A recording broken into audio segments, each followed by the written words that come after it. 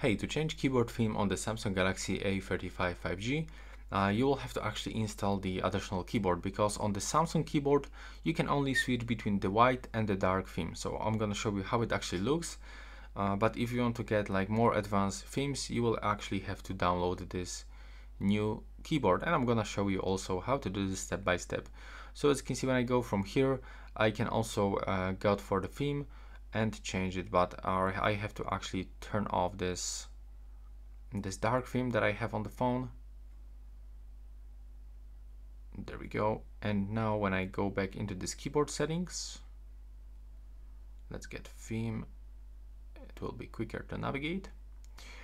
And as you can see from this now I can enable the dark theme but if it's not enough for you and you want to get this diff different theme go into the Play Store then click on the search bar and simply download the Gboard application.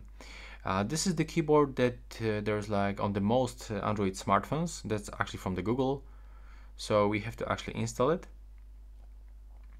Now we have to wait for the downloading process and we have to click open just from here. So wait for the installation process. It will take a few seconds.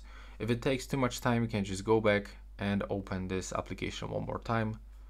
So in my case it doesn't work because it's still installing and here we are. So now from this we have to open it and we have to click to enable in the settings. Now go to the default keyboard and switch into the Samsung keyboard. Okay, never mind, we have to just click on the switcher. That's my bad. So now uh, we can set the Gboard as default keyboard and now from this we have to move into the settings then we have to scroll down and move into the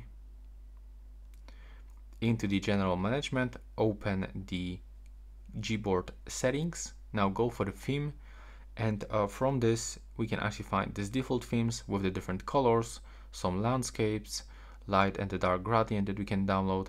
But if you want to set for example your custom photo you can just click here and then pick something from the gallery.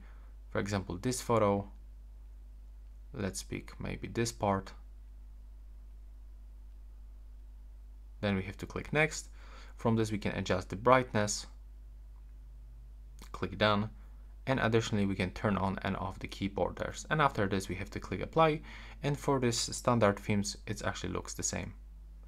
So as you can see that's all for this video. Right now please subscribe